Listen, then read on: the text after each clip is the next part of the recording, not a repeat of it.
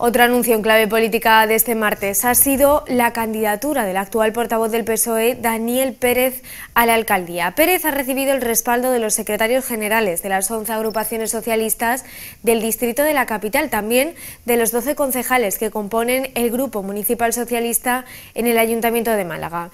Pérez asegura dar el paso ilusionado, convencido y con el aval del trabajo que la oposición ha realizado estos últimos cuatro años.